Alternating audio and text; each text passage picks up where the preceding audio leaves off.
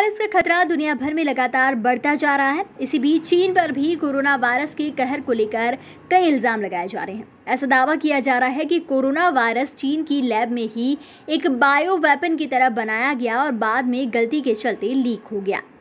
इसके अलावा अमेरिका ने चीन पर आरोप लगाया था कि चीन ने वक्त रहते दुनिया को संक्रमण की सही जानकारी नहीं दी, जिससे हालात आज इतने खराब हो गए हैं। अब हाल ही में अमेरिका, ब्रिटेन, कनाडा, ऑस्ट्रेलिया और न्यूजीलैंड की खुफिया एजेंसी ने दावा किया कि चीन लगातार वैक्सीन बनाने में भी आड़े आ रहा है। खबरों के अनुसार इन सभी देशों की खुफिया एजेंसियों ने मिलकर करीब पंद्रह पेज का डोजियर तैयार किया है। इस डोजियर के अनुसार चीन नहीं चाहता कि दुनिया को कोरोना वायरस की वैक्सीन जल्द मिल सके। इसी बीच उसने लगातार कई देशों, स्वतंत्र वैज्ञानिक संस्थाओं को भी कोरोना के लाइव सैंपल देने से इनकार कर दिया है।